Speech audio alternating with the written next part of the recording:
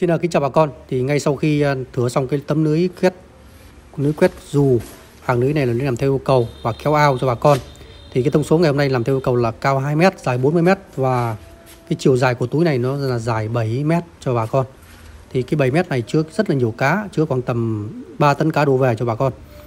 Và một cái nữa là cái dòng túi này và làm theo yêu cầu là thủ công.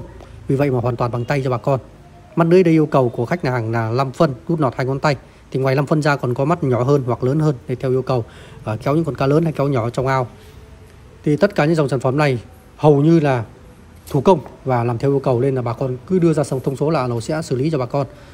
Thì à, kính thưa bà con thì ngoài lưới quét dù ra thì còn có lưới quét cước và lưới quét cước mắt lưới cũng như vậy cũng rất là đa dạng và làm ở đây là rất là đẹp. Hầu như là làm đẹp cho bà con một cách tuyệt đối luôn thì ngoài lưới quét dù ao ra thì còn có những dòng sản phẩm lưới đánh cá. Lưới dù thái ba màn, cao 5 m cao 4 m cho bà con. Thì hôm nay là một cái lô lưới như vậy. Thì ngoài những sản phẩm lưới đánh dù ra thì còn có những cái dòng bẫy cua, bẫy ghẹ ngoài biển cho bà con. Và cái đây là cái dòng loại một. Mắt lưới của nó là 3 x 3 và có phe gài để cài bẫy cá cắt khúc vào đây. Rất là đẹp, bà, hàng con, bà con nha. Hàng khung 40 60 thì tất cả những dòng sản phẩm đánh bắt ngày hôm nay, A Đầu muốn giới thiệu thì à, bà con vừa xem. Ngoài ra còn làm theo yêu cầu tất cả các dòng lưới đánh bắt cá. và con bà con có nhu cầu thì liên hệ trực tiếp với A Đấu qua số Zalo trên màn hình. A Đấu mong muốn bà con rộng rãi à, biết sản phẩm đến A Đấu. Xin cảm ơn bà con.